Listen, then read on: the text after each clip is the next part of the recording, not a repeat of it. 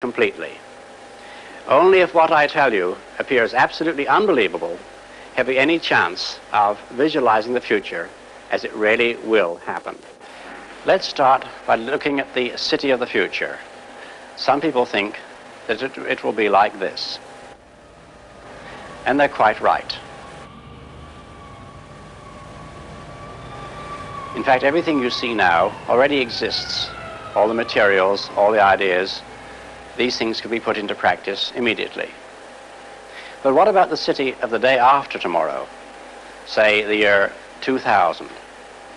I think it will be completely different. In fact, it may not even exist at all. Oh, I'm not thinking of the atom bomb and the next Stone Age.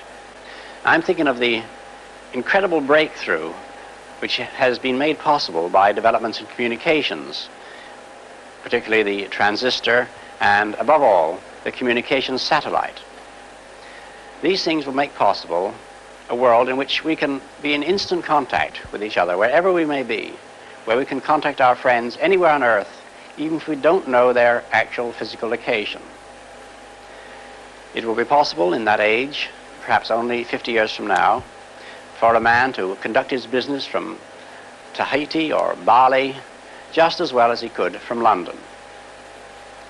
In fact, if it proves worthwhile, almost any executive skill, any administrative skill, even any physical skill could be made independent of distance.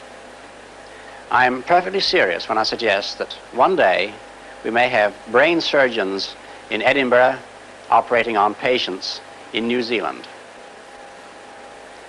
When that time comes, the whole world will have shrunk to a point, and the traditional role of the city as a meeting place for man would have ceased to make any sense. In fact, men will no longer commute, they will communicate. They won't have to travel for business anymore, they'll only travel for pleasure.